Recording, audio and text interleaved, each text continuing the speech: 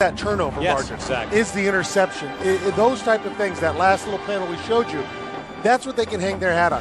You're absolutely right. Uh, what they can do to time of possession, what they do to uh, field position and total yards, they're not going to be great. It's not.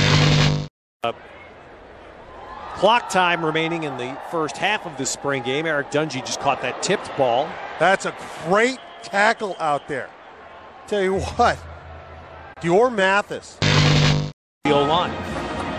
And how different that is in the Oregon scheme. Of course, we know Kyle Long is is moved on. Well, their O line, three guys back that are starters.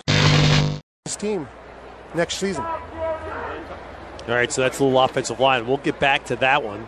We could go on all day about. Well, I line. know we could. and we might, as Eric Dungy makes a nice catch here. But let's hear a little bit about the Oregon defense now as we go back. you know, the spring ball is such a grind for these kids.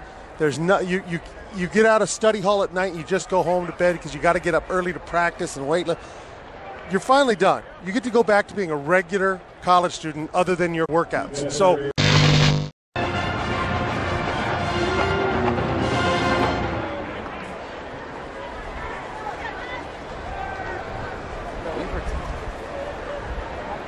Lucky fuck. wins. Expectation of national championship hopes. That's what they need to be thinking about. So often, I think fans get caught up into, well, our offense didn't average me.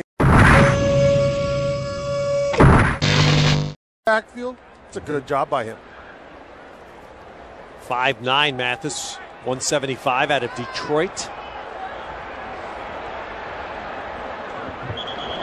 Lockie keeps, runs that ball down near the first down.